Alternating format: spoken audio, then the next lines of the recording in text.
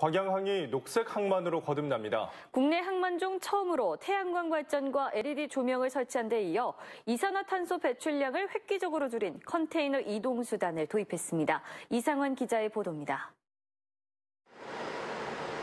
컨테이너를 실은 야드 트랙터가 야적장으로 들어옵니다.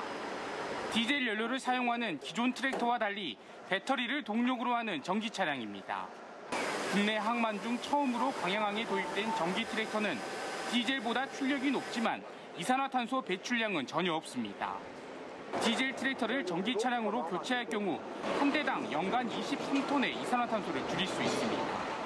가장 좋은 부분이 이제 매연이 없다는 거하고 그다음에 이제 시동을 걸고 이제 운행할 때 차가 떨리지 않고 고정적이고 소음이 적으니까 이제 무전기 같은 것도 잘 들릴 수 있거든요. 근데 그 점이 가장 좋은 것 같아요. 광양항에서 온실가스와 미세먼지를 줄이기 위한 노력은 곳곳에서 이어지고 있습니다.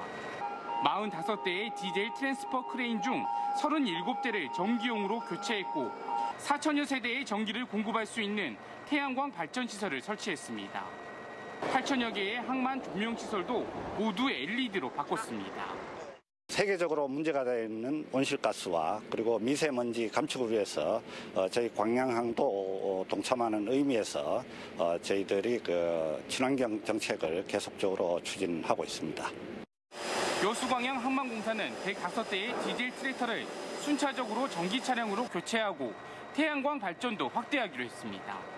KBC 이상환입니다.